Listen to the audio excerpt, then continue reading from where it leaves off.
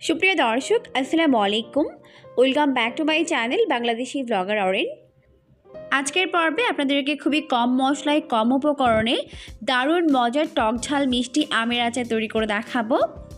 কাঁচা আম ফুরিয়ে যাওয়ার আগে এইভাবে আচার তৈরি করে কমপক্ষে এক বছর কিংবা তার বেশি সময় পর্যন্ত সংরক্ষণ করে খেতে পারবেন।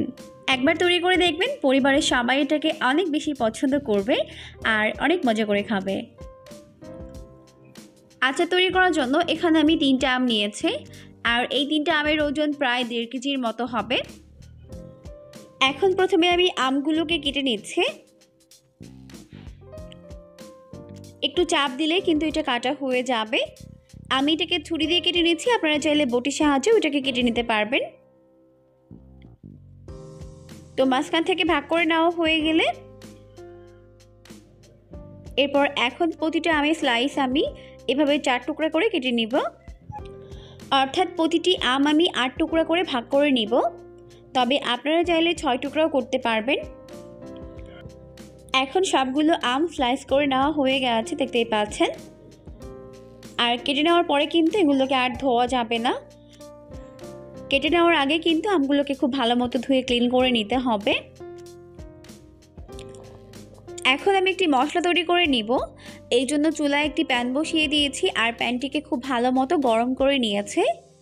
এখন আমি এর মধ্যে দিয়ে দিলাম সাতটির মতো শুকনো মরিচ, এক টেবিল চামচ পরিমাণ পাঁচফোড়ন আর এক চামচ পরিমাণ আস্ত জিরা। এখন এই মশলাগুলোকে আমি প্রথমে একটু টেলে নিব।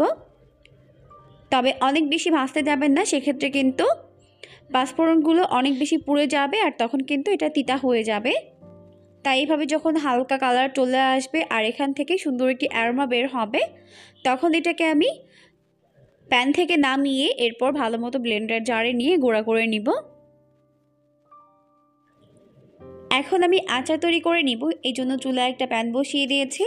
আর এর মধ্যে দিয়ে দিলাম ওয়ান থার্ড কাপ পরিমাণ সরিষার তেল। এরপর এখন এর মধ্যে দিয়ে দিলাম দুইটি তেজপাতা আর দুই টুকরা দারুচিনি। এরপর এখন এর মধ্যে দিয়ে দিচ্ছি চার পাঁচটির মতো শুকনো মরিচ, একটু ভেঙে দিয়ে দিয়েছে। আর এক চামচ দিয়ে দিলাম পাঁচ ফোড়ন। এখন প্রথমে এগুলোকে তেলের মধ্যে একটু ভেজে নিব।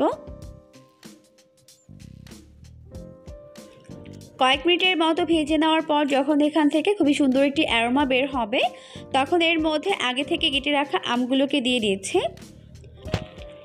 এরপর এখন আমগুলোকে এই মশলার মধ্যে নেড়েচেড়ে মিশিয়ে নিব। আমগুলোকে নাড়তে নাড়তে এখন কিন্তু অনেকটাই নরম হয়ে গেছে। তো এখন আমি এর মধ্যে বাকি উপকরণগুলোকে অ্যাড করব। প্রথমেই দিয়ে দিচ্ছি হাফ চামচ পরিমাণ হলুদের গুঁড়া, এক টেবিল চামচ পরিমাণ দিয়ে দিচ্ছি লাল মরিচের গুঁড়া, আর এক চামচের মতো দিয়ে দিচ্ছি লবণ। এখন আবারও খুব ভালো মতো এগুলোকে আমের সঙ্গে মিশিয়ে নিব।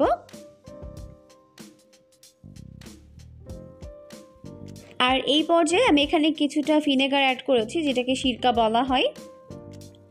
ওয়ান ফোর্থ কাপের মতো ভিনেগার আমি এখানে অ্যাড করে নিয়েছি। এখন খুব ভালো মতো এগুলোকে একত্রে মিশিয়ে নিচ্ছে।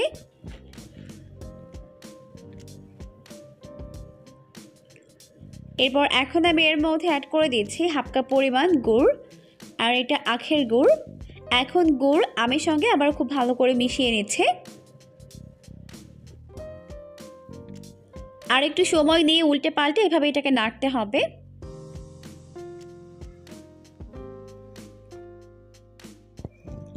আর এই আমের আচার কিন্তু খুবই কম সময় তৈরি করে নেওয়া যায়। তো গুড় অ্যাড করে নিয়েছি, গুড় অ্যাড করার পরে কিন্তু এটাকে আর বেশি সময় ধরে জাল করার প্রয়োজন হবে না। তিন থেকে চার মিনিটের মতো জাল করলেই কিন্তু আমগুলো ভালো মতো সিদ্ধ হয়ে যাবে।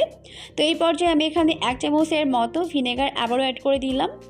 এরপর এখানে আমি আগে থেকে গুঁড়া করে নেওয়া মশলাগুলোকে অ্যাড করে দিলাম। এই পর্যায়ে কিন্তু আচারগুলোকে অনেক আলতোভাবে নাড়তে হবে না হলে কিন্তু আমগুলো গলে যেতে পারে, কারণ এখন কিন্তু এগুলো অনেক বেশি নরম।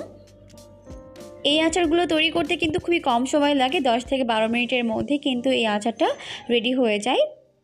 তো এখন হয়ে গেছে, এটাকে আমি চুলো থেকে নামিয়ে নিচ্ছে।